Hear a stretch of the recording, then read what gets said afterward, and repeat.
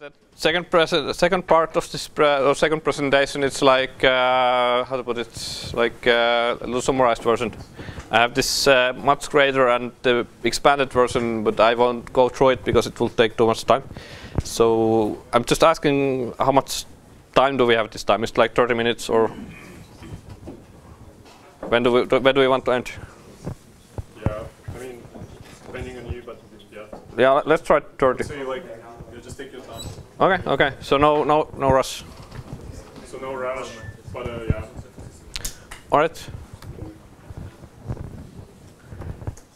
Yeah. So yeah, we, we did this. So we checked already. so topics. Uh, optimizing. So now you have some kind of build. Uh, how can you make it like like neater and smaller and faster and all that? And how to speed up Webpack? Uh, some ideas related to output like uh, Webpack decides its name, it does something else too, and uh, I have some SSR topic and just a couple random thoughts. Something about consuming packages, because if you think about web development, it's that uh, I want to do a thing, then I go to npm, and then I do npm install blah, and now done. So like consuming packages is kind of important, so it's good to discuss the topic. I'll also show you how to extend Webpack. I mean, you could spend two hours just discussing extending Webpack, but I'll do it in five minutes so you get basic ideas. so, optimizing. Uh, in Webpack 2, we added new feature, uh, performance budgets. Because developers are developers, then you have 10 megabyte bundle and nobody's happy. So, for that reason, you can set these limits for your developers. And you can even make it failure built. So if you have hint error, it's going to crash, and that's good.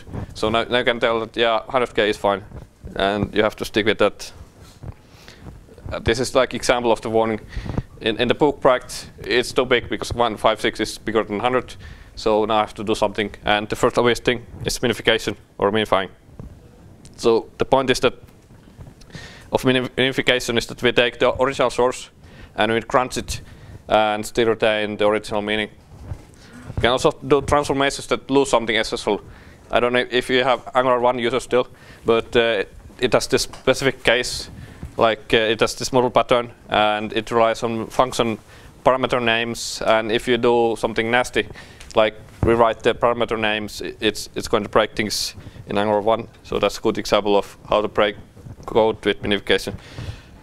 You have three main options: Uglify.js plugin, Babili Webpack plugin, Webpack uh, closure compiler. The problem with Uglify is that it doesn't support ES6 yet. So now you have Babel preset env in your project, and it, it you get some ES6 feature through it. And you pass it to Uglify.js, and it's going to crash so, and burn, so it's not going to work. So for that reason, you have to use Babili Webpack plugin. So it's this little thing. It supports ES6, when I saw this first time, I was really scared. I never used 0.0 something, but it actually works. So you can you can use it. uh, that reasoning, I asked why. It follows Babili versioning, so I don't know. That's why it's 0.0 something.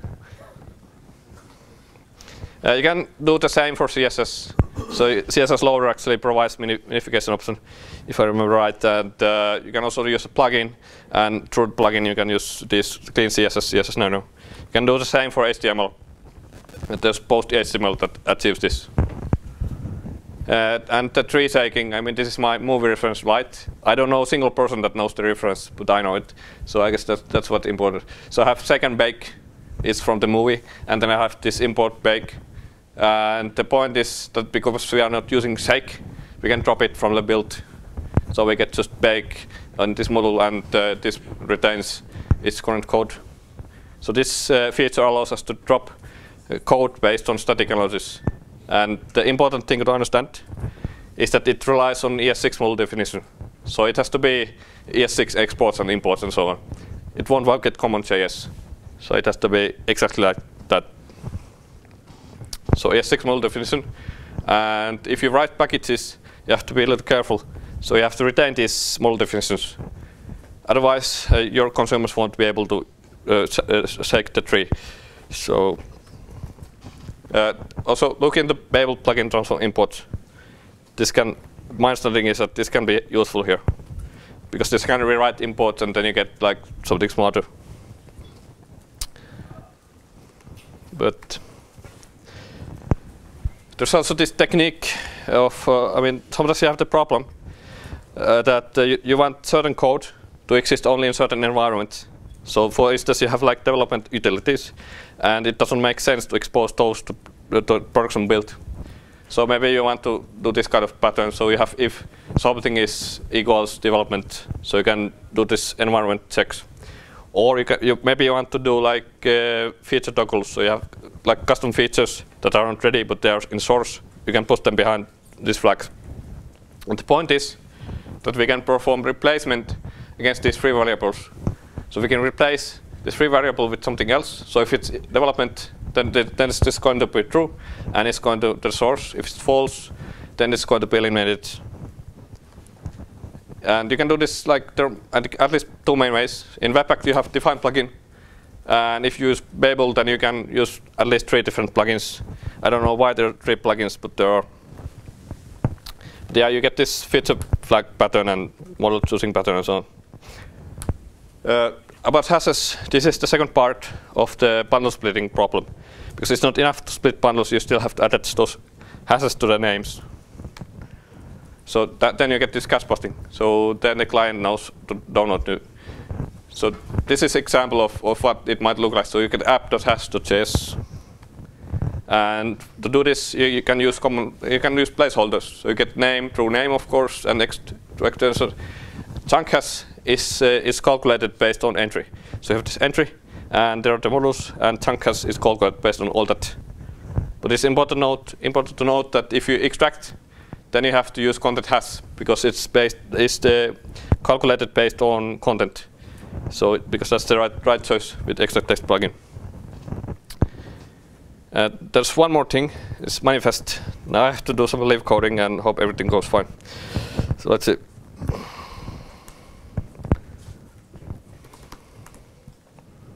So I'll just open this configuration file and uh, now I have to hack it. So I'll do a little simplification so you can see what's going on.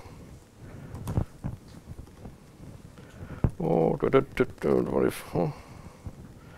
Yes, that uh, this is actually a little abstraction over commons chunk plugin, but you'll see in a bit what I mean. Do, do, do. I'll just do a build. Oops, I broke something. So, ah, yeah, yeah, yeah. Let's do this. Yeah, let's reset and uh, do it again. Uh, it's not my day, sorry.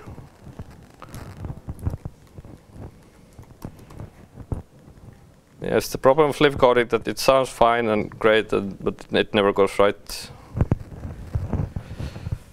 So now we have built so there, it's a basic setup. We have that app bundle and vendor bundle, and uh, I'll just show you. So we have we have some files. Uh, the the problematic part is here. So here we have the vendor bootstrap script, and the actual problem exists. Uh, blah blah. It's here. So here's the manifest. So manifest tells Webpack where to start start from. I mean, it's like module IDs and all that. The problem is that because it's in this vendor file, it's possible to make a change in the app file that's going to change this definition. And when that happens, it's going to invalidate the app file and it's going to invalidate the vendor file because the definition, definition changed. So a change made in app can uh, cause invalidation in vendor and that's definitely something we don't want. It's, it's from behavior. So for that reason, we have to do a little trick we have to extract a manifest or, or that Bootstrap 6 into something else. And that this actually goes through Commons Chunk plugin. And it, it's not related to that name. So I can do something like uh, reversed. Because I mean, I went to Germany and I had this organic uh, hipster reversed, which was great. Cost like 10 euros, but it was great. So I can do like this.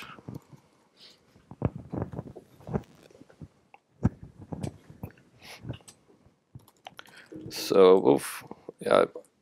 So I have, so so so you see, there's the Bootstrap script, and here's the problematic portion. So now the problem has been solved. There's no problem anymore because if I make a change, it's not going to invalidate both vendor app.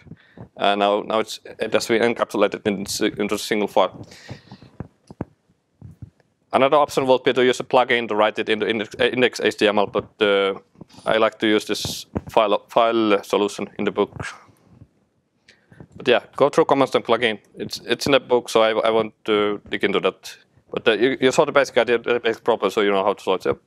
Any plan to incorporate it into the Webpack core? I don't know any plan, so maybe we- have to kind of force Tobias to do it.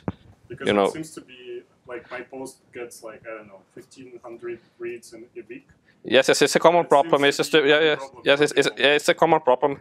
So, So we have to join our forces and Right. make Tobias do it. probably would make sense Yeah. to just like do this out of the box. Yes, yes, like, yes, yes. Forget about this. Yes, yes, yes, yes. I mean, this is a slide that should not exist. So we have to do some lobbying. Okay. Yeah, let's do that. Yeah, there's also this problem of records because if you are using code splitting, uh, so if you are using code splitting, then you get this hashing, caching problem, and uh, because of that, uh, you, ha- you have to use records because records allow you to track old module IDs. I mean, this sounds complex, but it's actually single field. But uh, the file looks like this. It contains the information related to module IDs. And to use this, you have single field records path. It's going to write the file, and Webpack is going to pick up the file based on that. But this brings new problem. Now you have new file to manage during your build. I don't have a good solution for managing this file yet. So maybe it means you will need like third-party service where you push the file and you fetch the file or something like that. But uh, it's like advanced thing, just good to know. Because if you have code splitting and want caching for, for those, you will bump into records. But uh, anything I just explained, it doesn't matter if you don't understand. So that's why it's good to analyze. So you get the flags like JSON and profile. I'll show you how to do that, how, to use this. So it's like uh, uh, stats. So I just wrote a line like this. So you have Webpack and I want to use production env.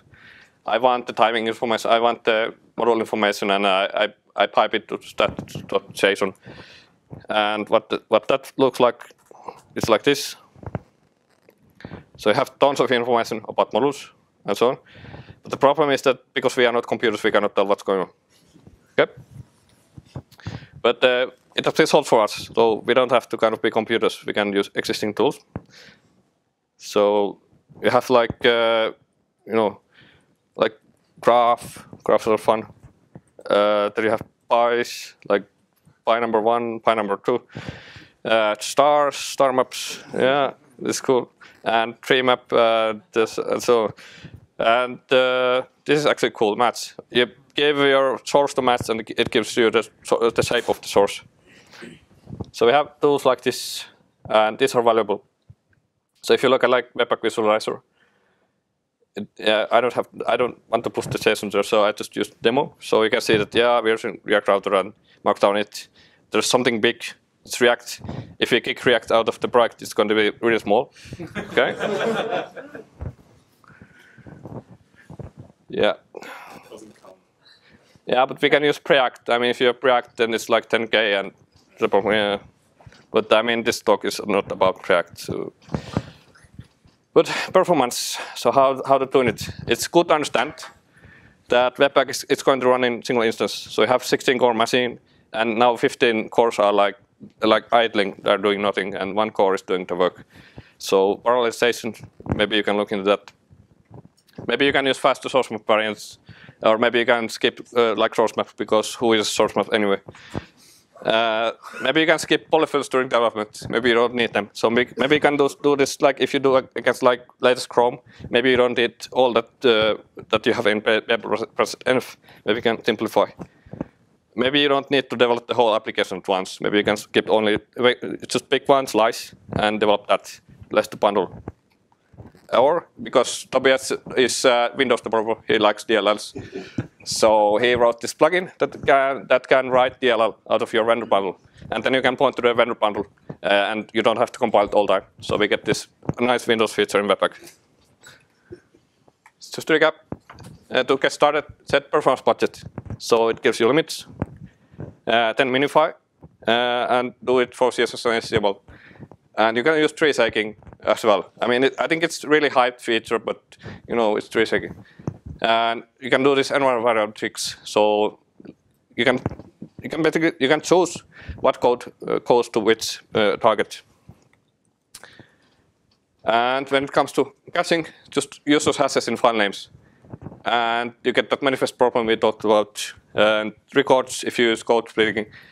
And analysis is like the key to everything. So if you know what's going on in your build, then you can actually optimize it.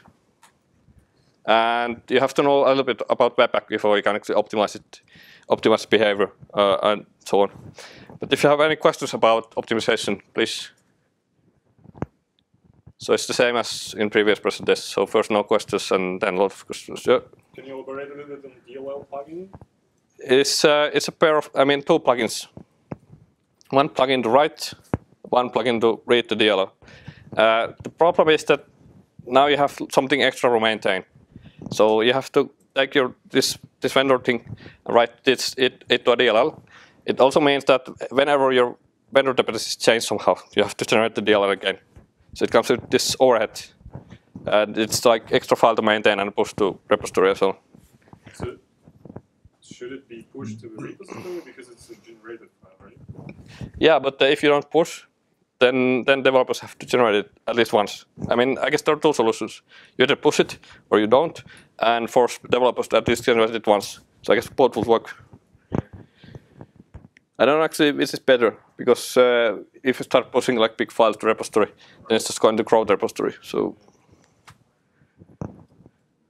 or maybe this means that you have to write a service. So you have this service, and then you push to the service, and there's DLL service somewhere, and then you start like thinking like in terms of. I mean, there there was some company that is exactly like this. So they do DLLs through service with Webpack, so something really neat.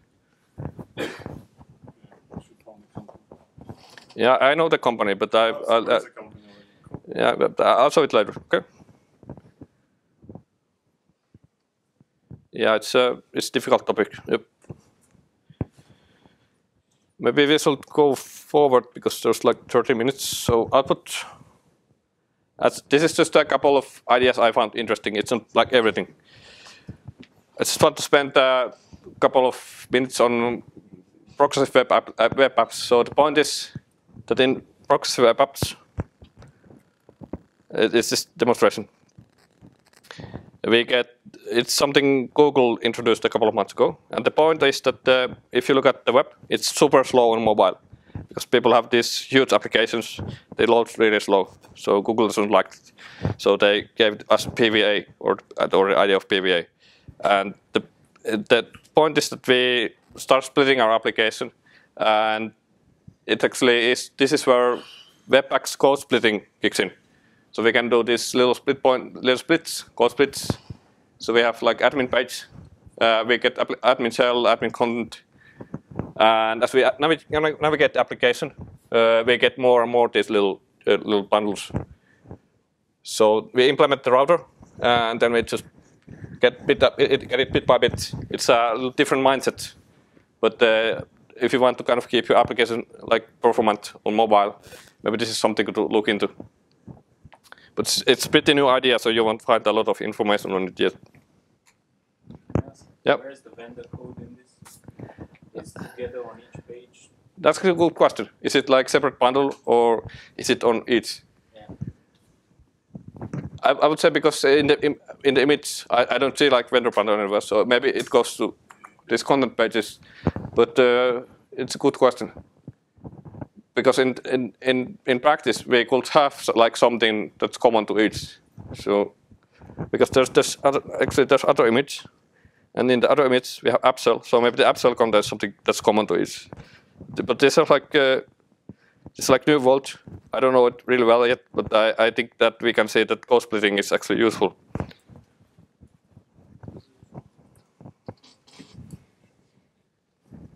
Yeah, it's really hot in here. I mean, it's like, yeah, I'm used to like the cool places. I was in Cellar once. It was great. About SSR. So you know basic idea. You throw the client initial HTML initial data. Uh, you get maybe potential performance benefit, and you get this search engine optimization benefit, again potential. But you get these new problems like how to deal with routing, how to deal with styling, and so on and so on. Lots of problems. Look into Next, uh, because I, I think Next, it solves a lot of these. So instead of writing your own Next, you can pick this up because they this on this on top of Webpack, and they have these solutions. So I would look into this before doing like something on my own. But yeah, Webpack it can do the front end or it can do the both front end and back end in, in as a server. Streak you can do multi-page setup with Webpack, and the PVA is like something I would look into because it looks so interesting. And SSR, yeah, you can do, it like next time, you can do it in front end also in servers. Or if you have questions related to like these random topics, please. Yeah, I guess we go forward. So packages.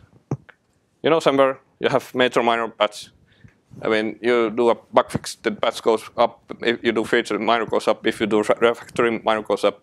If you break something, major goes up. Uh, it's a little complicated to remember. So there's convert. Uh, if you make something that breaks things, then this goes up, and otherwise this goes up. But this this is like basic information. So I guess like the actually the variant you see most in, most in practice, it's actually this one. So you get these emotional releases. People just push, yes. Yes, they push things and break things. This is actually an important point because you have to be a little careful. You have these version ranges, you do npm update, now you broke things.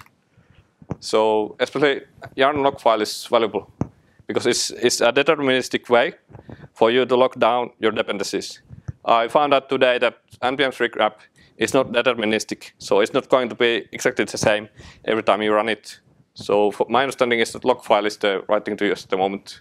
So you have lock file, and uh, now you install the app, do, do npm install, or I mean yarn install or whatever later, and then it's going to be the same. It's going to work. It's easier to maintain. And you can find you can find specific tooling to help with this problem. So you can run. Actually, I learned two days ago that yarn itself contains a little command uh, that gives you like this list of packages that you can update. You can also find separate tools uh, like updtr and so on. Updtr, it's like lead name, so updtr, okay. And they say that update outdated npm models with zero pain, so it must be good. good. yeah, but you get these little things, so you don't have to patch them by hand.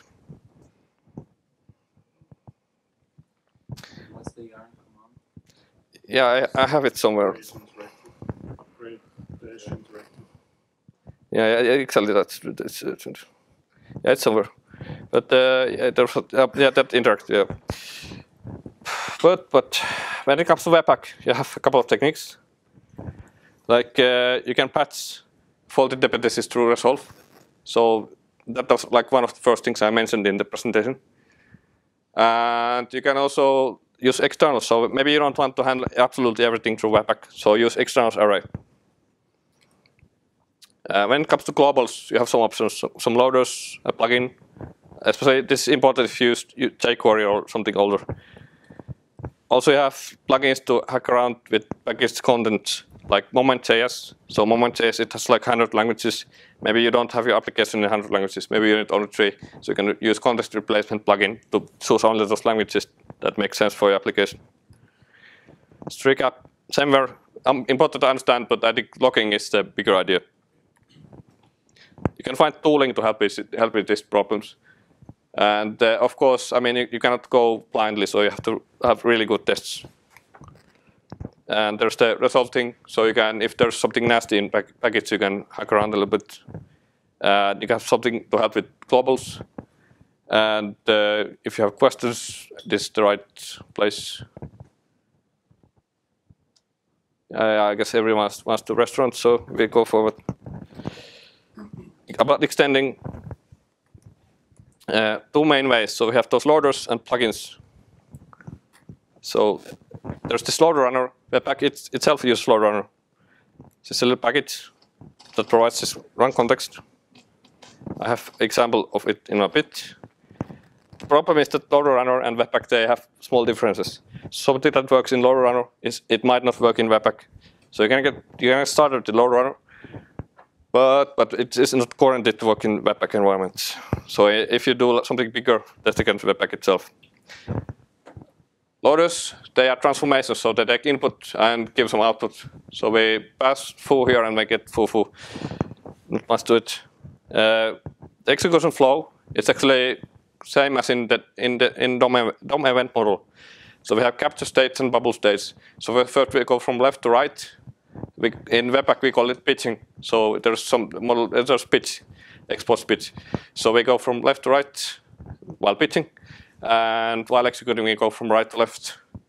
And the point is that during pitching phase we can uh, terminate execution, or we can actually attach like metadata to, to loaders and so on but it's it's not as commonly used as uh, the, like the normal normal function. You can write both synchronous and asynchronous loaders. My understanding is that in the future you can write only asynchronous, but it has, it has not been changed yet. Here's the running context. So it's a loader runner. And then we have the loader definition and we pass some file. And then we get some result. Not much to it there's some output. So yeah, result. I mean, not much to it. There's something else. I don't really care about the rest. It's the result that matters. API is based on this, and I don't really like this. So maybe I should write rewrite the API one day uh, because I, I, want, I want to get rid of this because the problem is if you use ES6 function definition, it's not going to work, and it looks a little hairy, hairy to, to have like this and that. So, but you can find helpers, loader utils, schema-utils, and there's Webpack defaults. And because you're a nice crowd, I will show you a little more. I normally skip this, but I'll I'll do it just for you because it's there's a great idea behind this package. Okay. Uh -huh, uh -huh. Now, now it's the hard part. I have to figure out project name.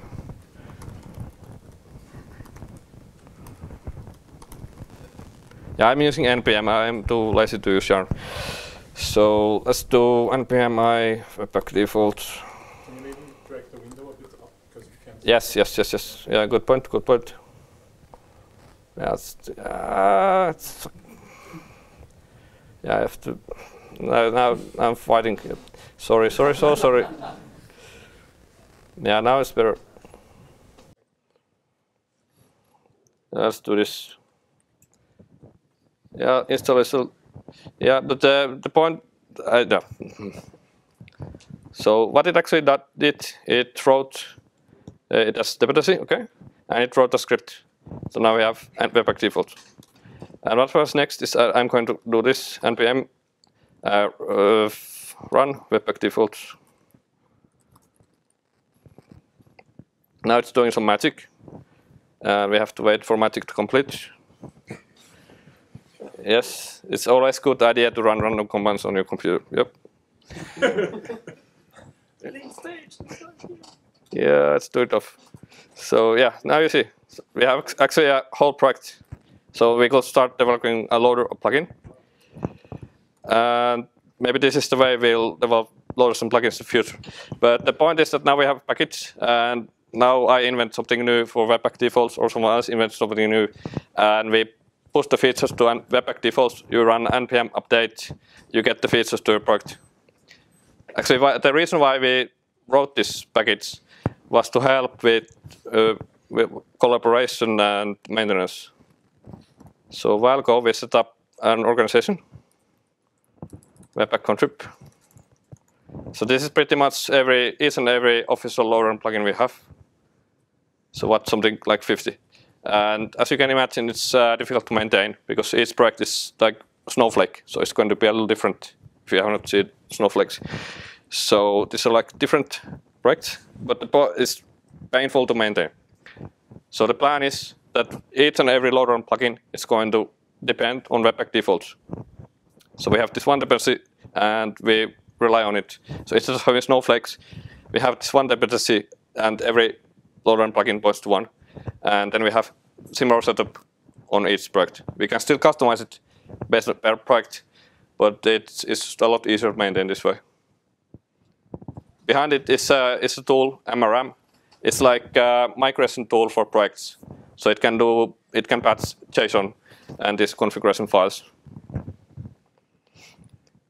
But yeah, you can, yeah, with the plugins, this is actually more complicated.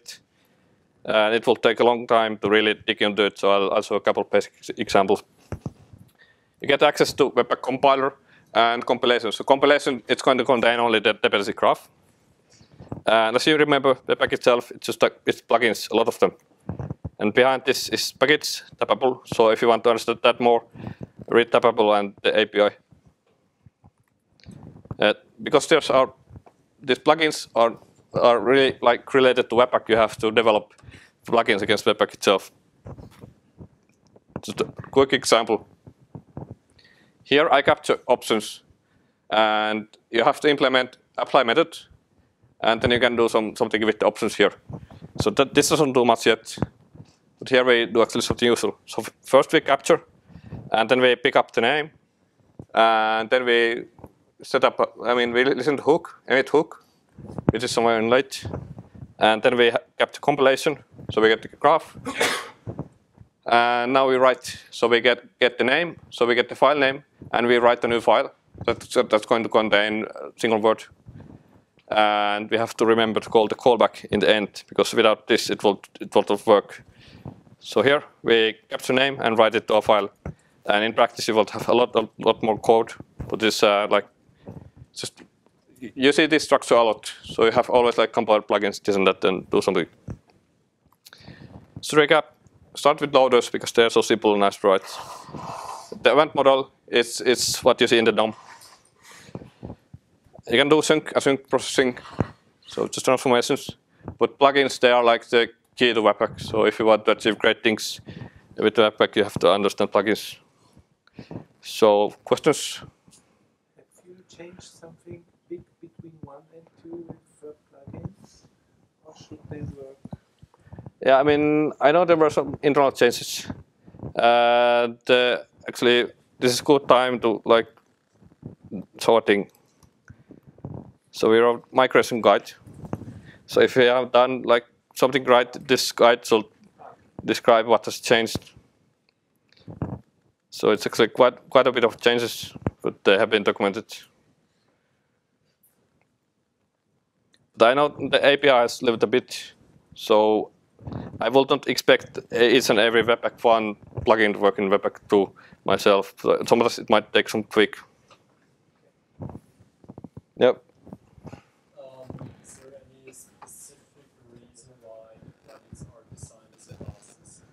Yeah, so is there any specific reason why plugins have, to, have been designed as classes? You can actually write them as functions.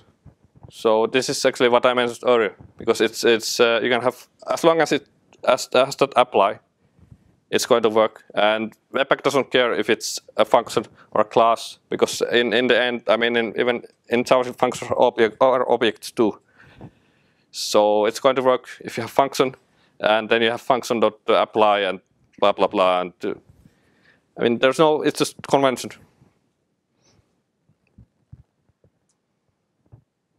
Yep. Can, can you have uh, mix like sync and async? Uh, Yeah, so can, can yeah, so can you mix sync and async processing? So actually, it's possible to have both. So you can have async parts and sync parts, to my understanding. But I think uh, I think you should just write async and forget about sync because it's like hand, hand waving, but it's like same thing essentially. So uh, it's uh, it, it might it's most likely it's most likely the future way. So we have every, everything is just async.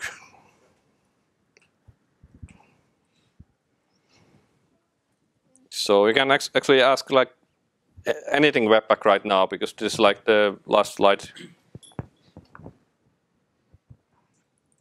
Yeah, so I guess the next step is to sell me sell my book to you. So the way it works is that you go to the site and you press buy. So you go, it will really up, you go Amazon, Kindle, or you can get like this really awesome signed edition. It costs only $50, so you can, you can check it out. But yeah, the content is exactly freely available. So my hope is that if people like the content, they buy the book. Because it allows me to get to Vienna and places. So. But yeah, it was made somewhere in North and uh, thank you for attention. It was really great to be here today.